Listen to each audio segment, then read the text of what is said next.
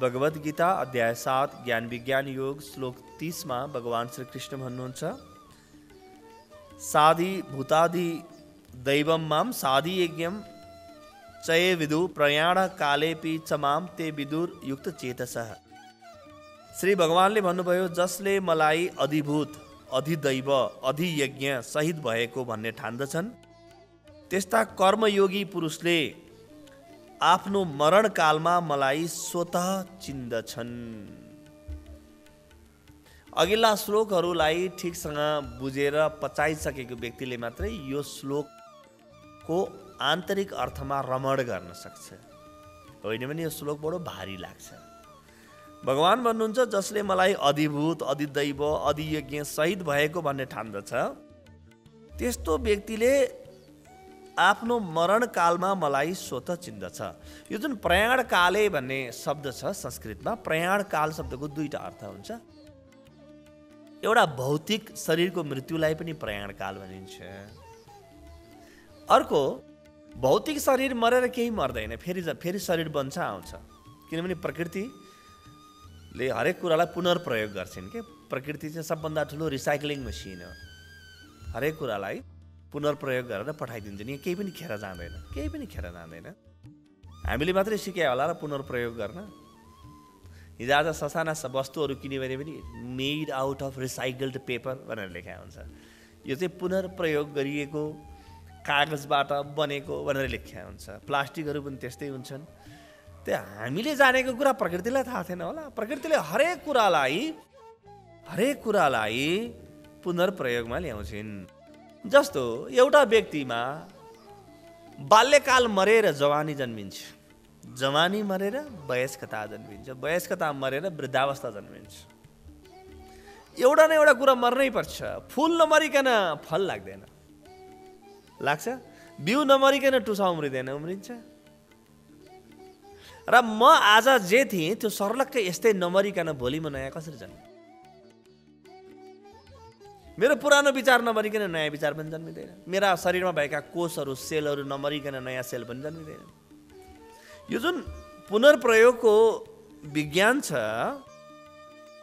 भगवान् भन्नुहुन्छ कि एउटा त यो शरीरसँग सम्बन्धित शरीरको अन्तिम अवस्थामा यो शरीर छुट्यो र अब जुनलाई भौतिक रूपमा मृत्यु भनिन्छ त्यो अवस्था र अर्को अवस्था जहाँ शरीर मात्र सिद्धिएन मन पनि सिद्धियो। साधारण मृत्युमा के हुन्छ? शरीर मात्रै मर्छ। असाधारण मृत्यु अथवा एउटा सन्तको मृत्यु एउटा योगीको मृत्युमा के हुन्छ? मन पनि मर्छ। किनभने त्यो मन रहिन्जेल नयाँ शरीर धारण गर्नुपर्छ। मन भनेको कर्म हो विचार हो। विचार मरेर पनि केही मर्दैन। त्यो त विज्ञानको साधारण नियम हो। यहाँ केही पनि मार्न सकिँदैन। कुनै पनि कुरालाई नष्ट गर्न। डिस्ट्रक्सन सम्भवै छैन। त्यो कणको रूपमा जीवित रहन्छ र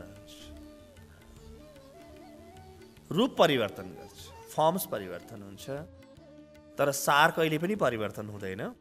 त यो दुईटा मृत्युको घडीमा शारीरिक मृत्युको घडीमा वा भौतिक मृत्युको घडीमा र मनको मृत्युको घडीमा पनि के बुद्ध छ? मलाई स्वत चिन्दछ भगवान् भन्नुहुन्छ। त्यस्ता कर्मयोगी पुरुषले मरणकालमा मलाई स्वत चिन्दछ के को रूपमा चिन्दछ अधिभूत अधिदैव अधियज्ञ सहित भएको भन्ने ठान्दछ त्यसरी चिन्दछ अधिभूत यानि के हो? मेरो जुन भौतिक शरीर छ यो भौतिक शरीर चल्ने एउटा संयन्त्र भित्र। जस्तो कस्तो संयन्त्र होला? मेरो दाहिने खुट्टाको बुढियौलामा चोट लाग्यो ठेस लाग्यो। एकछिनपछि टाउको पनि दुख्छ। अब भारी बोकेर हिँड्दै थिएँ भारी बोक्न के फरक पर्छ? जतिसुकै ठुलो भारी बोके पनि के हुन्छ? बोक्न सकिन्छ बस खुट्टामा त ठेस लागेको पिठ्युमा त ठेस लागेको छैन। काँधमा त ठेस लागेको छैन भन्नु मिल्छ? एकछिनपछि काँधले पनि मलाई बल दिन छाड्छ। ठेस कहाँ लागेको छ? खुट्टामा। एकछिनपछि आँखा पनि राता राता हुन्छन् काम दिन छोड्छ। एकछिनपछि खाना पनि मन लाग्दैन। शरीर तात्न थाल्छ। त्यो एउटा खुट्टामा ठेस लाग्दैमा पुरा शरीरलाई किन असर गर्यो त? यसको कारण के हो भने देख्दाखेरि बाहिर शरीरको एउटा खुट्टाको बुढियाउलामा ठेस लागेको हो तर त्यो ठेसको असर भित्र कतै एउटा साझा थलोमा जान्छ। एउटा साझा थलोसम्म भित्र। जसरी एउटा पोखरी छ पोखरीमा एउटा छेउमा मैले ढुङ्गा हाने भने त्यो ढुङ्गाको तरङ्ग फैलिँदै फैलिँदै अर्को छेउसम्म पुग्छ। त्यसै गरी म भित्र यो देख्ने बेलामा मात्रै शरीर अलग। शरीरको भित्र जसलाई हामी आधुनिक भाषामा सेन्ट्रल सर्भर भन्न सक्छौँ। त्यो यो पुरै शरीर सञ्चालन गर्ने एउटा केन्द्र छ त्यो एउटा केन्द्रलाई अधिभूत भनिन्छ। त्यो केन्द्रलाई अधिभूत भनिन्छ। एउटा त अधिभूत भयो अर्को छ अधिदैव। यो शब्द बडो मिठो छ बडो प्रिय छ। दैव भनेको के देवता भनेको के हो? धर्मले अध्यात्मले केलाई देवता भन्छ? देवता भनेको के हो भने नि जेले मेरो अनुभवलाई प्रकाशित गर्छ। देव भन्ने शब्द प्रकाश या विद्युतबाट भन्छ ज्योतिबाट भन्छ आलोकबाट भन्छ लाइट देवता भनेको लाइट हो। र जस्तो मैले बाहिर मेरा आँखाले केही देखेँ देखेको चित्र आँखाले भित्र पठाइदियो। आँखाले भित्र पठाइदियो। आँखाले भित्र त्यो अरबौँ अरबौँ कोशिकाहरू न्युरोन्सहरूको माध्यमबाट भित्र गयो मेरो मस्तिष्कमा खबर गयो। खबर गएपछि त्यो खबर जाने ठाउँमा खबर जाने ठाउँमा त्यो आँखाले पठाएको चित्र यो हो है भनेर मलाई ज्ञान दिन्छ जेले त्यसलाई देवता भनिन्छ। मेरा इन्द्रियहरूबाट आएका जति पनि जानकारीहरू छन् सेन्स अर्गेन्सलाई जुन इन्फर्मेसनहरू फिड भइरहेछ बाहिरबाट ती सबैलाई भित्र बसेर एनालाइसिस गर्ने व्याख्या गर्ने। र के हो भनेर मलाई जानकारी दिने तत्त्वलाई देवता भनिन्छ। देवता भनेको त्यही तत्त्व हो। जस्तो मेरो आँखाले देख्छन् यी मेरा चक्षु देवता हुन्। यी बाहिरी आँखा होइन भित्र केही एउटा तत्त्व छ जुन तत्त्वले सबै कुरालाई विश्लेषण गरेर मलाई त्यसको बारेमा पर्याप्त जानकारी दिन्छ। त्यो मात्रै होइन कानबाट कानबाट केही कुरा सुने केही भुके जस्तो लागेको थियो एकछिनपछि देखेँ यही कुकुर भुकेको भन्ने थाहा हुन्छ मलाई। कान र आँखा दुइटै जोड्ने ठाउँभित्र नभएको भए जे जसको मैले आवाज सुने त्यही मैले देखेको भन्ने कसरी थाहा पाउने मैले? सबै देवताहरूको आन्तरिक जोड हुन्छ एउटा त्यो जोडलाई इन्द्र भनिन्छ। त यो जुन प्रकाशित पार्ने संसारलाई जसले प्रकाशित पारेको संसारको बारेमा मलाई जेले ज्ञान दिन्छ जेले भित्र बसेर विश्लेषण गर्छ ती सबै तत्त्वहरू मेरो लागि देवता हुन्। सबै तत्त्वहरू यसै गरी शरीरका अङ्ग प्रत्यङ्ग चल्ने पनि एउटा नियम छ ती नियम अन्तर्गतका अनेक अनेक देवता हुन्छन् यसरी पुरै हेर्दै हेर्दै गयो भने पुरा शरीरमा तेत्तिस करोड देव देवी देवताहरू हुन्छ पुरै शरीरमा र भगवान् भन्नुहुन्छ मलाई जसले यी देवताहरूमाथि पनि राज गर्ने भनेर चिन्दछ। मेरा सबै इन्द्रियहरू मेरा जम्मै इन्द्रियहरू इन्द्रियलाई चलाउने देवताहरू या यसलाई प्रकाशित पार्ने तत्त्व देवता भनेको व्यक्ति होइन है त्यो भित्रको इन्टेलिजेन्स त्यो भित्रको बुद्धिमत्ता त्यो भित्रको विवेक हो। त्यो भित्रको जान्ने क्षमता थाहा पाउने क्षमता। र अर्को के भन्नुहुन्छ? अधियज्ञ। अधियज्ञ भनेको के हो? अब एउटा त चाहिँ हामीले बुझ्यौँ अधिभूत छ अर्को अधिदैव छ। अधियज्ञ भनेको चाहिँ मेरो शरीरमा बसेर यी सबै कुरालाई संयोजन गर्ने सबै कुरालाई। इन्द्रियको कुरालाई पनि संयोजन गर्ने भौतिक विषयवस्तुहरूलाई पनि संयोजन गर्ने म भित्रको जानकारीहरूलाई पनि संयोजन गर्ने मेरो पाचन क्रियालाई पनि संयोजन गर्ने मेरो रगत चल्ने तत्त्वलाई पनि संयोजन गर्ने मेरो मस्तिष्क चल्ने तत्त्वलाई पनि संयोजन गर्ने यी सबै कुरालाई साझा रूपमा जेले बसेर संयोजन गरिरहेको छ जुनलाई संस्कृतमा पुरुष भनिन्छ।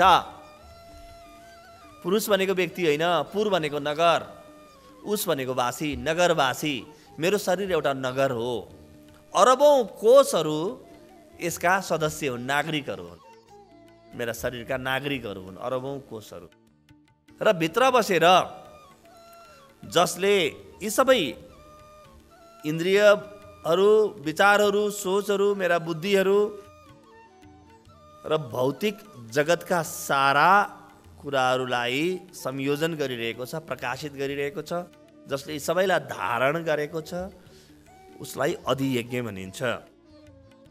जसले मलाई अधिभूत अधिदैव अधियज्ञ सहित भएको भन्ने ठान्दछन् त्यस्ता कर्मयोगी पुरुषले आफ्नो मरणकालमा मलाई स्वत चिन्दछन्। अब एउटा ईश्वरलाई चिन्नु अथवा म भित्र रहेको ईश्वर तत्त्वलाई चिन्नु यी सबै कुरालाई जान्नु। हामीलाई साधारणतया लाग्छ नि कि यो भगवान्लाई चिनेका ईश्वरलाई चिनेका व्यक्ति त संसारको कुनै पनि काम गर्नु नपर्ने संसारको दुःख सुखले यिनलाई नचलाउनु पर्ने यिनीहरू अलगै अलग प्रकारको लुगा लगाउने अलग प्रकारको जटा पाल्ने अलग प्रकारको व्यवहार गरेर बस्ने मान्छेहरू हुनुपर्छ भन्ने। होइन? भगवान् भन्नुहुन्छ के? भगवान् के भन्नुहुन्छ भने बस यी सबैलाई जसले चिनेको छ जसले जानेको छ जसले मनका क्रिया पनि जानेको छ त्यो व्यक्ति नै वास्तवमा आएर कर्म गर्न सक्ने हुन्छ। साधारण संसारी व्यक्तिले के कर्म गर्छ र? जसले आफूलाई चिनेको छ उसको कर्म महान हुन्छ। कुनै एउटा भगवान् बुद्धको कर्म हजारौँ वर्षपछि पनि मेट्न सकिँदैन। हजारौँ वर्षपछि मेट्न सकिँदैन। तर एउटा वैज्ञानिकको कर्म अर्को वैज्ञानिकले मेटिदिन्छ। यो कर्म दीर्घकालीन हुन्छ जसले अधिभूत चिन्यो जसले अधि यज्ञ चिन्यो अधि दैव चिन्यो जसले अध्यात्म चिन्यो र जसले म भित्र कुन चेतना बसिरहेको छ ब्रह्म? र जसले कर्मलाई पनि चिन्यो। कर्मलाई हामीले बुझेका थियौँ अघिल्लो श्लोकमा विचार बन्ने प्रक्रियाबाट कर्ममा रूपान्तरित भएर त्यो विचार सकिने प्रक्रियासम्मलाई कर्म भनिन्छ। यो सबै कुरा जान्दछ अर्जुन। त्यस कारणले मलाई चिन्ने व्यक्ति कुनै साधारण व्यक्ति हुन्छ भन्ने नठान तिम्रो संसारमा पनि चतुर हुन्छ हो। सांसारिक कुरा पनि त्यति नै सहजताका साथ बुझ्न सक्छ। तर त्योभन्दा माथि उठेर आफूलाई पनि चिन्तछ र जीवन जगत सबैलाई जानेको हुन्छ। अथवा साधारण भाषा भन्नु पर्यो भने संसारमा पनि उपयुक्त ब्रह्ममा पनि उति नै उपयुक्त हुन्छ यो। यो कुनै संसारबाट काटिएर अलग बाँच्ने मान्छे होइन। बस पहिलोपटक जिन जिन्दगीमा यो व्यक्ति संसारमा आएर कर्म गर्नको लागि योग्य हुन्छ। किनभने यसले आफूलाई चिनेको छ। आफूभित्रका क्षमताहरूलाई पनि चिनेको छ यसले। र यसले आफूभित्रको त्यो केन्द्र पनि चिनेको छ जुन केन्द्र कहिले पनि हल्लिँदैन।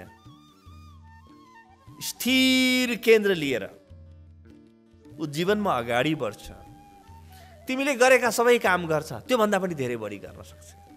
तिमीले जानेका सबै कुरा जान्दछ उसले त्योभन्दा पनि बढी जान्दछ। तिमीले देखेका सबै कुरा देखेको हुन्छ उसले त्योभन्दा पनि बढी देख्दछ। तिमीले सुनेका सबै कुराहरू यसले पनि सुनेको हुन्छ तर त्योभन्दा पनि बढी सुन्दछ।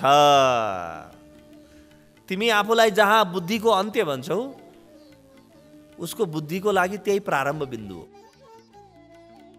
सांसारिक व्यक्तिले जेलाई मेरो बुद्धिको अन्त्य मेरो अन्तिम अवस्था भन् ठान्छ एउटा सन्तले अन्तिम अवस्था होइन यो मेरो प्रारम्भ बिन्दु हो भन्छ। त्यस कारणले हामीले अध्यात्मलाई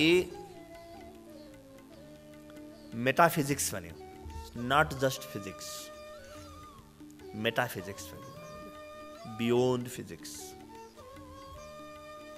भौतिकताभन्दा पर सारा अनुभवहरू प्रकाशित गर्ने जुन क्षेत्र छ मेरा इन्द्रियहरूको जुन कारोबार भइरहेको छ त्यो कारोबारलाई नियन्त्रण गर्ने जुन क्षेत्र छ मेरो शरीर जसरी बन्छ बिग्रिन्छ जसरी जन्मन्छ जसरी मर्छ त्यसलाई पनि नियन्त्रण गर्ने क्षेत्र। त्यो पुरै क्षेत्रको केन्द्रबिन्दुमा पुग्नु अध्यात्म हो। अध्यात्म व्यवस्थापन मानव मनोविज्ञान, सनातन र नवीनतमको सङ्गम जीवन विज्ञान, सनातन र नवीनतमको सङ्गम जीवन विज्ञान।